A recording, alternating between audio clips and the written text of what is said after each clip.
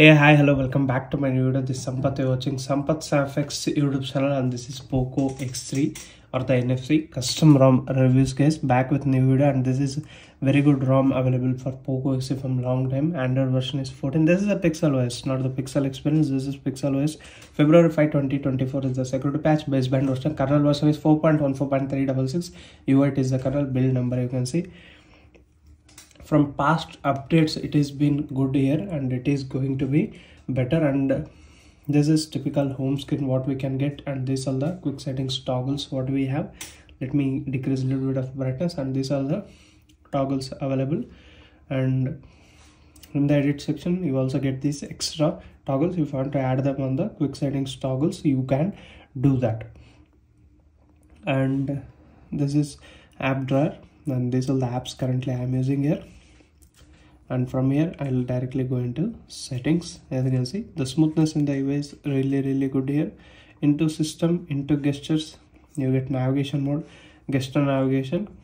Hide gesture bar option is there. Apart from that uh, there is no option to increase that. This is a pixel OS you won't get that. Uh, if to check the phone press and hold power button to power menu or advanced restart button you can enable from here. Swipe to screenshot and double tap to check the phone.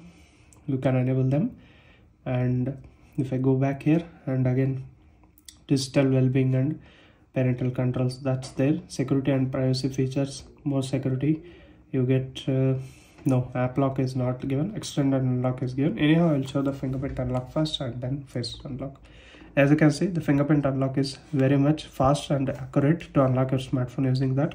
This is the volume panel what we can get in this particular ROM on the face unlock as you can see recognizing face it's very much quick to unlock your smartphone using this particular arm. The gaming experience also going to uh, explained very soon. Stay tuned till the end of the video. And if you're first time to this channel guys hit that subscribe button down below and also allow the bell notification by pressing the bell icon. If you like the video give it a like. And this android 14 style of lock screen customizations are still present.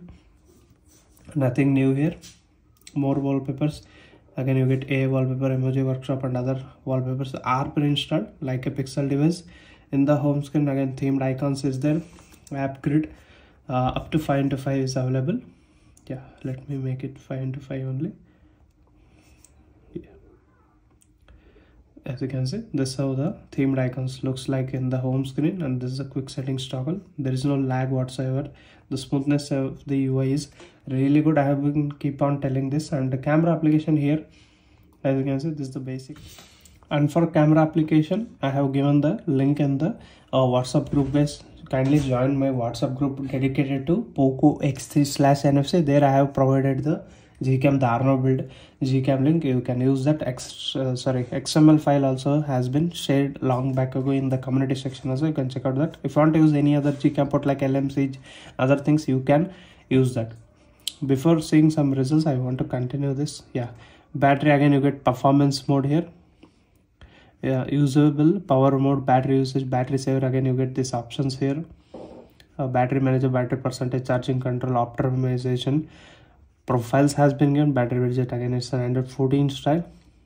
In the display again you get all these options here dark theme pitch black condition those are still available. As you can see use black theme. That's how it looks like. It's really good. You can definitely use this as a diary driver.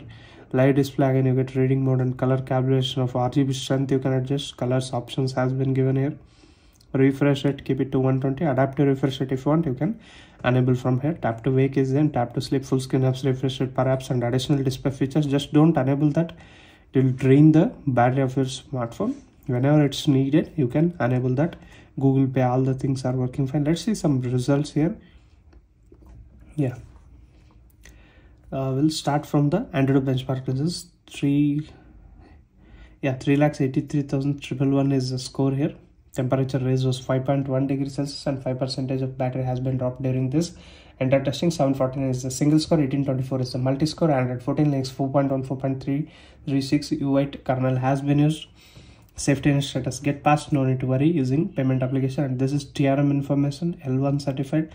HDR10 support is there but for time being I'm not making these videos in HDR because some people told that in the poco x3 if i'm watching this particular video if it is a hdr then it is showing white kind of thing. Hence this video i have disabled the hdr but options are available with me but you people said not to use that. 341 is a Vulkan and this one just tested that. And charging slowly it shows 69 percent around 518 and 523 you can see 77 percent. What it means is the fast charging support is there but just it is showing charging slowly that's how these results and all. The ui is really smooth using the headphones and making calls.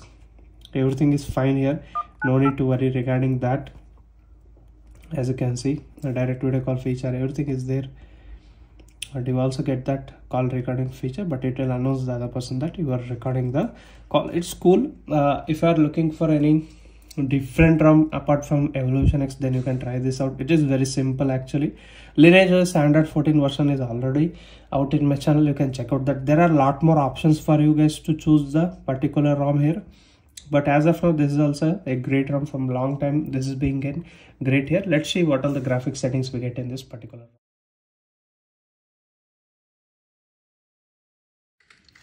coming to graphics settings here you will be getting just 40 fps smooth plus ultra nothing more here. Anyhow this is a simple pixel kind of experience. Here you get pixel os this is you won't get any gaming rom or anything like that. But if you want to play casually then it's fine. But anything if you want like gaming experience then you must have better roms there. Evolution x is little bit better compared to this. You can try that for gaming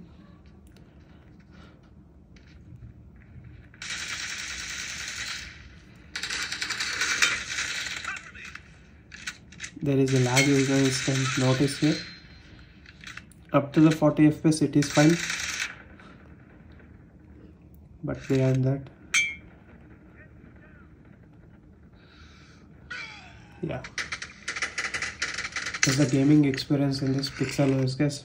For uh, time being this is also a very good rom available for poco x3 slash nfc if you are using previous builds you can go down and flash this rom. And my recommendation is always a clean flash method. Check out description what firmware i use and what is the flashing method. Everything will be given in the description. And the smoothness in the ui is really really good once you start using that you will going to understand guys this is sampath. Uh, signing off. We'll meet you with another interesting video. Until that keep smiling. Bye bye for now